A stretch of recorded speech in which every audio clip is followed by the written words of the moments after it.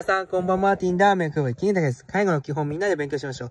多職種連携、意味何でしょうか異なる専門職を持つ多職種がチームになって利用者を支え合うことによって、互いの専門職として能力を活用して、効果的なサービスを提供する点です。これはね、チームとは、目標や方針を共有し、同じ方向へ向けて互いの専門性を活かしながら協力し合うグループ。チームアプローチ、つまり、チーム援助を行い、えー、行うことを言い、多職種がそれぞれ専門的な視点でアセスメントを行い、目標や方針を共有し、それぞれが自分の専門性を発揮して総合的に援助を行うことです。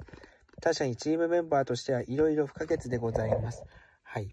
まあ、福祉職や医療職、栄養士、調理員、送迎を担う人、事務を行う人、様々な人もいます。あとは家族、近隣の人、ボランティア、いろんな目標も協力し合うこともチームなんです。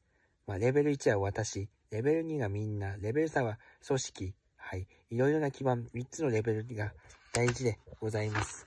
はい。というわけで以上です。バイバイ。